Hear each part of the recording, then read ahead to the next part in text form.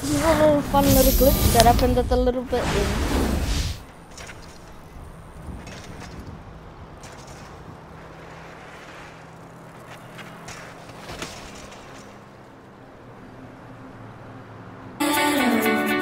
Just you and me.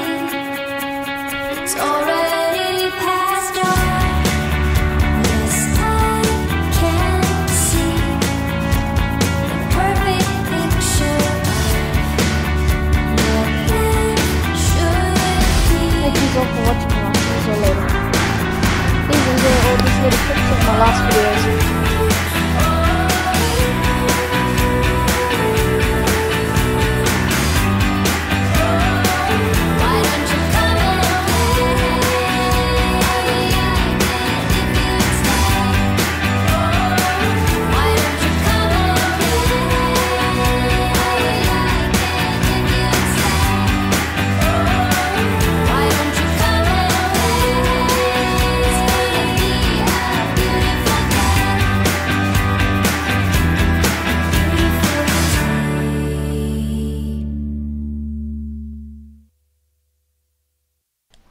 Thank you all so much for watching and I'll see you all later.